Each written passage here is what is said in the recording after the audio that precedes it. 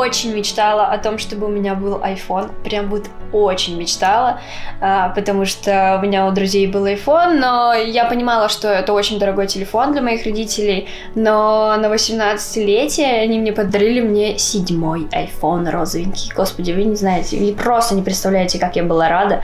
И как раз с того момента и началась моя вот эта карьера, потому что я скачала как раз-таки ТикТок, и все. И начала снимать. И теперь в итоге что? В итоге я им дарю айфоны, потому что я благодарна им очень. И пытаюсь теперь все, все для них сделать, потому что я очень благодарна за то, как они меня воспитали, как вообще я прожила свое детство и так далее. То есть я им очень благодарна и возмещаю им. Суслик, суслик. У нас тут суслики водят, оказывается.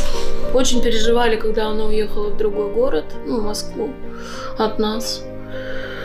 Очень переживали первое время, особенно я, конечно. Но потом как-то все свыклись, наладилось. Нам часто звонила, писала. По вечерам, по утрам очень часто мы созванивались, и как-то я потих потихоньку в общем, первое видео, которое я решила все-таки выложить, а, оно набрало там пару тысяч просмотров, но это было первое видео, то есть первое видео, которое э, набрало пару тысяч просмотров, для меня это было просто офигеть как много. Она прется с меня, как школа-то от новой школы. Я помню, что в мой день рождения, а на тот момент я снимала полтора месяца, у меня стукнуло 70 тысяч подписчиков. И для меня это было настолько много, я просто не представляла, как это вообще. 1 а, сентября я выложила видео, а, пошла в колледж спокойно. Я его сняла с первого раза, выложила, пошла в колледж. Выхожу из колледжа через пару часов, я открываю там а, по-моему, 80 тысяч лайков. Я такая, каким образом? Пару часов всего прошло, я не понимаю, типа, как так много? Я приезжаю домой, там уже почти миллион лайков. Я понимаю, что как это, ну просто взлетает и взлетает. И на следующий день я открываю, там уже 3 миллиона лайков и 36,5 миллионов просмотров. Это вообще... И чтобы вы понимали, с этого видео еще на меня подписалось 300 тысяч. 300 тысяч человек, то есть за сутки. За сутки! Это вообще просто... И поэтому у меня через месяц уже был миллион. Там потихоньку шло, шло, шло. А, видео мои заходили все больше и больше, всем нравились комедии. А когда уже был у меня миллион подписчиков, я ни копейки не заработала с ТикТока. Я даже не знала о том, что нужно. Там можно зарабатывать, там вообще. Ну, то есть я даже об этом не думала. Мне просто по кайфу было снимать, что-то делать. И мне нравилось, что людям это нравится. То есть то, что я им поднимаю настроение. Было очень много хороших комментариев. Я прям с того очень умилялась. И мне начали рекламодатели всякие писать. С ними я работала самостоятельно. То есть все я делала сама. А, договаривалась о какой-то рекламе, там какие-то копейки получала за это. Я даже не думала, что существуют какие-то менеджеры, я в этом в принципе не разбиралась. И тут мне пишет Заир. Я такая думаю, ну привет. А, пишет, такой, вот выложи кого-то ту рекламу. Я такая, ну давай, выкладываю. Все, там какие-то копеечки падают. И после того, как он мне написал, через какое-то время, там уже частенько мы каждый день списывались, какую-то рекламу я выкладывала. А, и тут он мне предлагает, давай-ка ты приедешь в Москву. Там есть проект на Ютубе, я привезу туда еще девочек, а я не знала, что он еще сотрудничает с Валей, а, с Катей и с Юлей. Я, я думала, что, ну, как бы он со мной только. Оказалось, что нет. И мне как-то даже спокойно стало, потому что я этих девочек знала никогда с ними лично не виделась, мне было очень интересно приехать в Москву и с ними познакомиться. Я очень стеснительная тогда еще была, потому что ни с кем еще не знакомилась, сама по себе работала тут дома. Приехали в Москву, и мы даже представить не могли, что через два месяца мы все встретимся опять в Москве. То есть мы думали, мы сейчас разъедемся по городам, и также будем просто за Иром переписываться, общаться, там рекламу выкладывать. И чуть-чуть проходит время, и начинается разговор о том, что давайте-ка дом откроем и будем блогерами там жить и снимать, будем друг другу поддерживать, продвигать. То есть, ну, реально, когда э, ты в доме находишься, тебя могут поддерживать, у тебя какие-то идеи приходят, там все друг друга цепляются, и это прям очень комфортно так работать, чем одному. Одному как-то скучно, сидишь такой и не знаешь, что поделать. Иногда такое было. И все, появился Hype House, открыли YouTube, открыли Instagram, все это пошло-поехало, и сейчас уже почти год почти год, представляете? В общем, я приезжала в Hype House, э, а из-за того, что у меня все в Питере, то есть учеба еще продолжалась до конца июня, мне было очень тяжело совмещать Москву с Питером, потому что постоянно туда-сюда, туда-сюда было очень тяжело. А, и мне из-за неких обстоятельств пришлось покинуть э, Hype House на полтора месяца, где-то на два. И когда я его покинула, я поняла, что ну, прям что-то не то. И мне прям не по себе, мне хочется с ребятами, мне хочется вот а, актив вот этот вот просто, потому что в Санкт-Петербурге я как бы одна снимаю, и мне как-то, ну, скучно, ну, что-то хочется с ребятами, потому что мы вместе что-то придумываем, иногда весело, ты прям зажигаешься, когда вот с ребятами вместе. И все, я решаюсь обратно в Москву переехать, потому что я уже получила диплом, все, меня уже ничего не держит. Я в Москву, просто это произошло буквально за неделю, то есть я такая решила, и все, мы, я съехала с квартиры, а, забрала все вещи и переехала.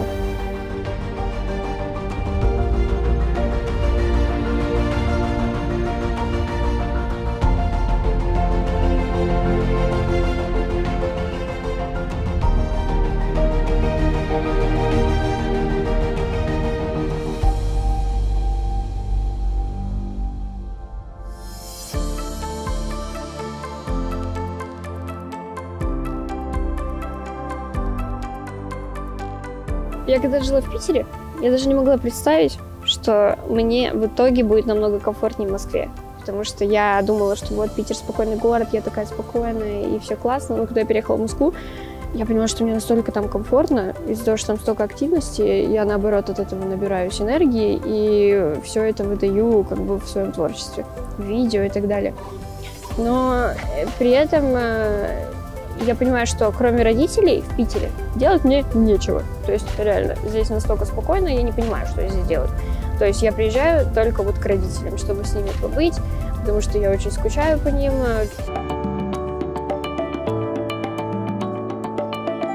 Первая встреча, конечно, была не очень положительная, потому что я думала, что она такая стерва. Но я реально, это мой, наверное, единственный случай, когда я настолько ошиблась в человеке. Она когда приехала, она не разговаривала. Потом она рассказала, почему она не разговаривала. Она не разговаривала, потому что она стеснялась. Вот. А я думала, что она не разговаривала, потому что она такая, типа, крутая и не хочет с нами разговаривать. Ну, что про нее еще можно сказать? Она просто светлый, милый, любимый. Вот к ней можно вот так вот в комнату прийти, лечь и лежать, и просто молчать, и находиться с ней в комнате и чувствовать уют. Ну и все. Анечка, привет. Привет. А я тебя обнимать даже не буду, просто решила у тебя полежать. А, ну, конечно, мне что-то так уютно. Да, уютно. Вот, я же говорю, уютный, милый, родной человечек.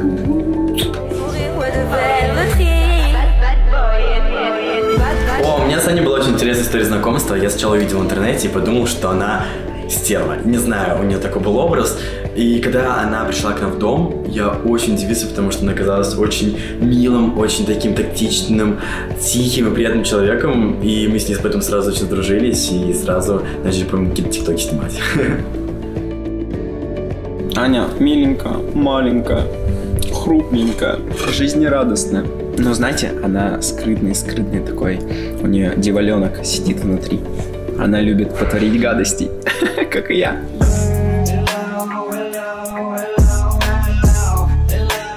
Э, Аня Божий одуван. Я ее очень люблю, потому что, знаете почему? Она просто невероятна. Она даже в 5 утра мне открывает дверь, чтобы я взяла ее утюжок. Я с Аней познакомился вообще очень странно. Я приехал в Питер с ребятами просто потусить. И каким-то образом я встретился с Аней, познакомился, думаю, прикольная девчонка. Но я не знал, что я с ней еще когда-либо в жизни увижусь, потому что это было больше двух лет назад. Мы случайно с ней познакомились. И потом я уехал в Питер и думаю, ну, все, типа, наверное, вряд ли когда с ней увижусь вообще. Но потом нас так жизнь свела, что через полтора-два года мы с ней встретились в Хайпхаусе и теперь вместе живем, развиваемся и снимаем видосики. И это я, конечно, очень рад, потому что она хорошая, позитивная, настоящая девочка. Ой, Аня, не знаю, про нее можно так э, долго говорить, потому что это настолько светлый человек в моей жизни, который всегда поддержит. Вот смотришь на нее и сразу хочется улыбаться. Я не знаю, как выразить всю свою любовь к этому человеку, но я безумно ценю, что она есть в моей жизни и когда-то появилась. Но, если честно, я думала, будет разваленный дом, а он такой, ничего, хороший. чуть-чуть Хорошо передача, сохранился. оттопыривается, ну что страшного. Ничего, пойдет. Сейчас Паша все починит. Анечка, на самом деле, это очень светлый человечек. Вот правда. Она абсолютно обычная девчонка. И она такая, знаете, она такая тихая, спокойная. Но если с ней поговорить, там такая, оказывается, баба Гром, ё-моё, с ней посмеяться можно и погрустить можно. Мы давно уже знакомы, кстати, с- когда создавался только дом девочек, мы с Анькой сразу быстро задружились. Это все потому, что в моей голове психушка я люблю. Меня очень сильно вдохновляет, прям очень сильно поездки. То есть, когда мы куда-то летели, то есть на Мальдивах мы были, в Дубае, в Египте, меня все время это очень сильно вдохновляло работать дальше и на контент, потому что я обожаю лето, а мы как раз ездили в теплые страны, когда уже у нас было холодно, зима, осень. Герман сожрал? Ну, колыбнись так.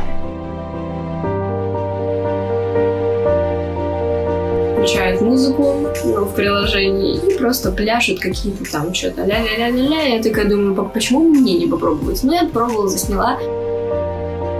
Я хочу дать пару советов ребятам, которые стесняются камеры, э, боятся видеть себя на камере. Э, Просто отложите эти мысли в сторону, встаньте и делайте так, как вам нравится. То есть вы ставите телефон, снимаете и все, и выкладываете. Если вам это нравится, то это обязательно будет вам доставлять удовольствие, и никаких сомнений у вас больше не будет.